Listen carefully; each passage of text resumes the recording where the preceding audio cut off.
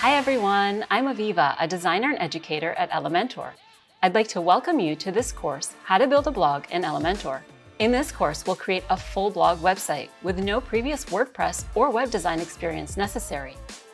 This course will cover blogging basics and the WordPress structure, the WordPress dashboard and settings, selecting and installing a template kit on your Elementor website, using the Elementor editor to customize and style your website, managing and styling your website's parts using the theme builder, adding posts, styling posts, adding and managing archive pages, confronting the page not found error, creating a link page for social media, managing multiple authors on your blog, useful tips, and last but not least, we'll conclude the course and review our results.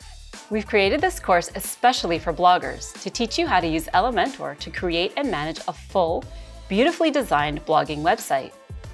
Together we'll create a website and blog called Xander Travels, authored by blogger Xander Banks, a former accountant turned digital nomad who began photographing and writing about his lifestyle after leaving his 9-to-5 job to travel.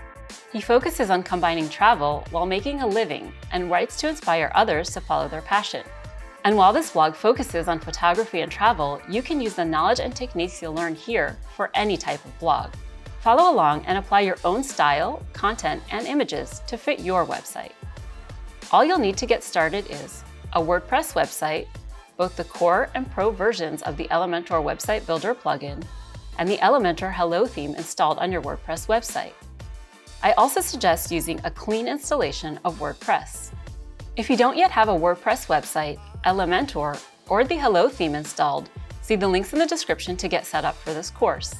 We'll design this blogging website complete with home, about, and contact pages, styled blog posts, a 404 page, and even a link in bio landing page. We'll also customize our site's header with a pop-up navigation menu. And we'll learn lots of other tips and tricks along the way, including blogging best practices and ways to streamline your workflow. As you move through the course, feel free to skip over any topics you may already be comfortable with. Be sure to bookmark the course so you can come back to it at any time. Keep watching to get started with our first lesson, where we'll learn about the basics of a blog and its structure. See you there!